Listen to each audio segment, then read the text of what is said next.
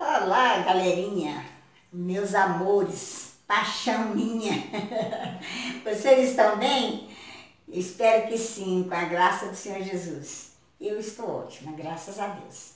E hoje eu trazendo uma receitinha aqui muito conhecida, muito comum, receita antiga, pudim de padaria.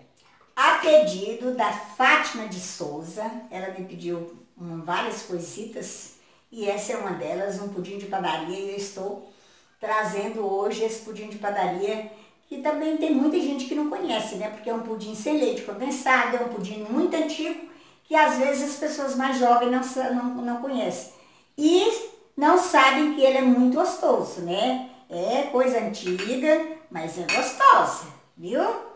Então vamos lá. Não, mas antes a gente vai lá na cozinha fazer a calda, tá bom?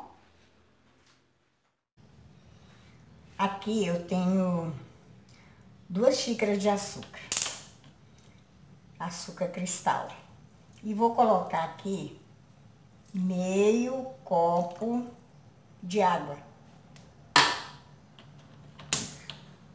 É só para derreter esse açúcar.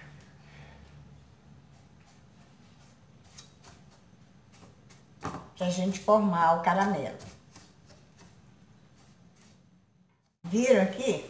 Já derreteu o açúcar, já está uma calda. Agora essa calda vai apurar um pouco, a hora que ela corar, que ela ficar uma cor de guaraná, a gente vai desligar, viu? Porque senão ela apura demais. Você quiser fazer uma outra panela que tenha cabo para você não se queimar, não, ter, não correr perigo, melhor. Eu faço assim porque eu já tenho prática. Mas você pode fazer em uma outra panela e depois despejar na forma do pudim. Eu já faço direto para não sujar duas vasilhas. Já está uma cor de guaraná. Aqui a gente tem que ter cuidado, porque se você deixar escurecer muito, depois ela fica muito escura e pode até amargar. Então é nesse ponto aqui que você tem que ter cuidado para deixar uma calda mais não muito clara, mas também não muito escura. Ó, eu já vou apagar o fogo, porque agora, como a forma é fina, ela escurece mais, viu? Então aqui já tá bom. Ó, eu já vou deixar que ele vai escurecer mais. E outra coisa, depois que vai fazer o, o pudim também, ainda escurece, que vai pro forno, né? Então é por isso que a gente tem que ter cuidado, ó. Essa cor aqui tá boa. Pra mim tá boa. Você vai olhar e você vai escolher a cor que você quer. Tem pessoas que gostam de calda bem escura. Eu gosto mais clara, mas nesse sentido, porque a gente apaga o fogo, ela vai escurecer um pouco ainda, e depois quando você vai é, assar o pudim, ela vai ficar no forno, ela vai ainda, mais, ainda vai dar mais uma escurecida, viu? Então é por isso que a gente tem que... Olha aí, ela já escureceu mais, vocês estão vendo? Ó.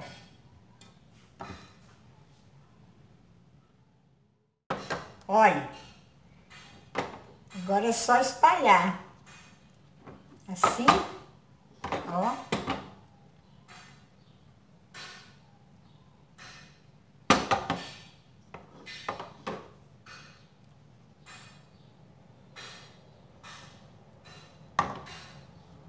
Bonito, né, gente? Olha aí que beleza.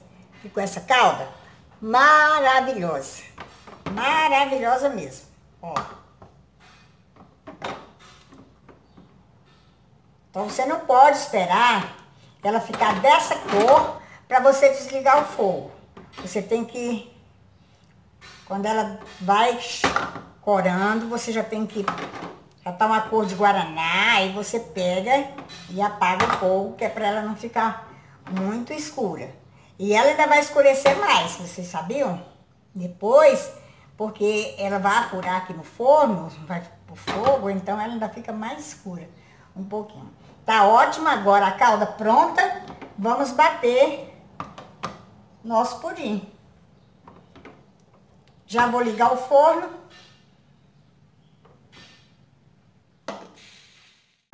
já fizemos a calda.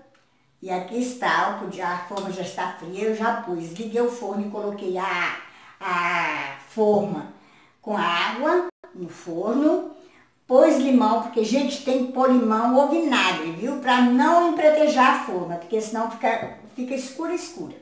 Eu sei que a maioria das pessoas sabe fazer calda de caramelo, né? Mas acontece que nem todo mundo sabe. Tem pessoas que são mais novos e não sabem. Então, por isso que eu fiz a calda. Aqui está, eu tenho aqui quatro ovos. Se você for um ovo grande, basta três, mas o meu é muito pequeno. Duas xícaras de 200 ml de açúcar. Ó, e eu vou colocar aqui a metade do leite para a gente bater Primeiro esses ovos com açúcar. Também tem aqui três colheres de manteiga, margarina. A minha hoje é margarina, viu? Três colheres de sopa. E agora vamos dar uma batida boa e depois acrescento o restante, que eu gosto de bater bem para não ficar com cheiro.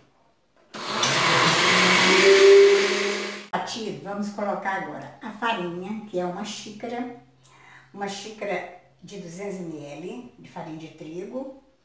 Aqui eu tenho é, meio copo de coco ralado, meio de queijo ralado. O queijo, se você usei o Minas, mas se você não tiver, você pode usar o parmesão. E agora é bater o restante. Aqui são 600 ml de leite, viu? Eu vou bater agora e depois acrescento o restante.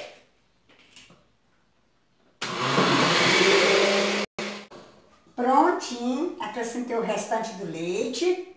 E agora é só colocar na forma e levar para o forno.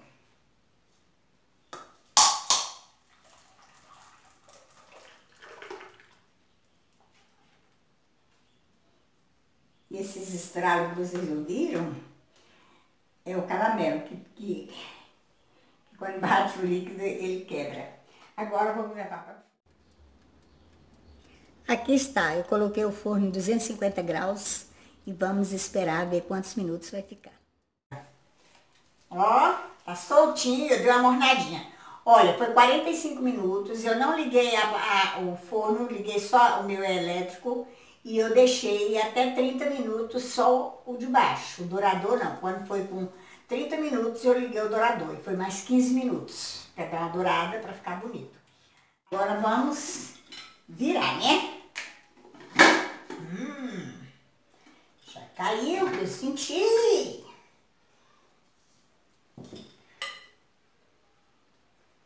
Que essa vasilha seria pequena. Olha aqui, eu vou lá levar para tirar um pouco dessa calda, para vou pôr um pouco de água e esquentar para despejar a calda aqui. Sim, olha aqui. Nem para despejar o tanto de calda que deu aqui, eu vou despejar só um pouco.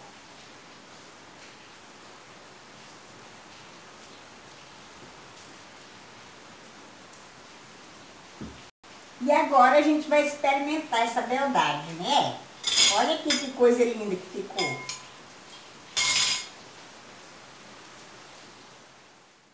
Se eu estou perto da câmera como que é, mas olha que beleza. Se vocês estão gostando dessa receita, já deixa seu gostei, não? dá seu like, compartilhe, comente. Olha, é, Fátima Souza, eu Fiz com todo carinho, viu? Tem as outras receitas que você me pediu que eu ainda vou fazer, tá bom? A vasilha ficou meio prensada, gente, porque eu não quis pôr em prato pra não... Porque no prato não pode despejar calda, né? Mas olha aqui. Olha aí, gente. Que beleza. Vocês estão vendo? Bom demais, não é? Olha só muito bom. Ó. E o bom é isso aqui, não é? É comer com a calda. Gente, olha, vou cortar para vocês verem. Olha que maciez, olha. Que beldade, né?